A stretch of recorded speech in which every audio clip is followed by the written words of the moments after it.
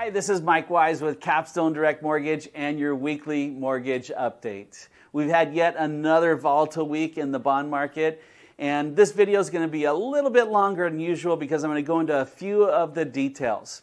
So, first of all, on Thursday, the Philadelphia Fed president said that the Fed hikes have had little to no impact to kind of quell inflation, and that had a big impact on Thursday on the interest rates. They went up but it also gives more weight for the Fed to have more Fed funds increases. This morning, the Wall Street Journal reported that it was a lock. It's a lock that the Fed is going to increase another three quarters of a point in November.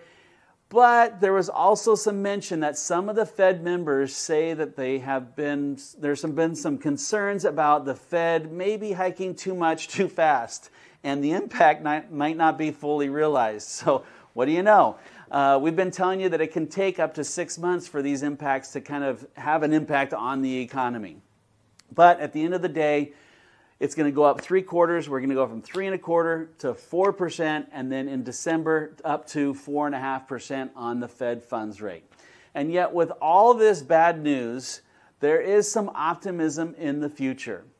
So, first, we've been telling you about the month over month numbers with the inflation those higher num- those those higher numbers are going to be replaced by some lower numbers. So as inflation comes down, the month over month numbers in the next November, December, January and February, we're going to start to see the inflation come down. But let me go into a little bit more detail.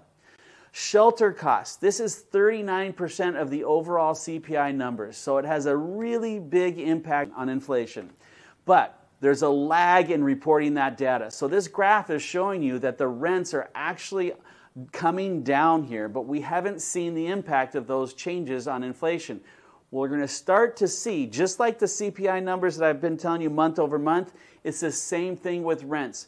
We're going to start to see the impact of those lower rents in January, February, March, April of next year, and that's going to bring down the core inflation numbers. The second thing is shipping costs.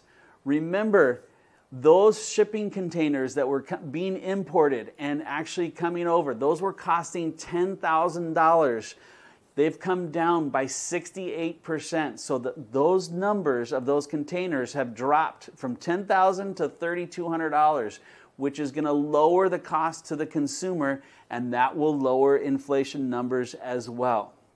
Used cars are down 10% year over year. Remember, we had that huge spike of, of, of, the cost of used cars. That's come down.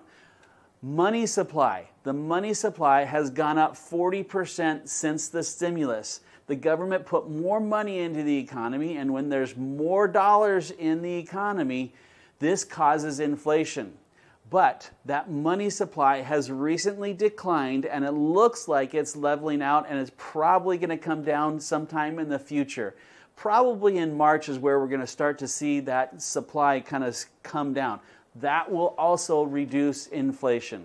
So all of these items will have an impact on the overall inflation numbers. And as I've been telling you, we will start to see the rates come down towards the end of the year. And in the next six to nine months, we, will, we may see interest rates in the 5% range. So, right around 5% will be the number that we're looking for.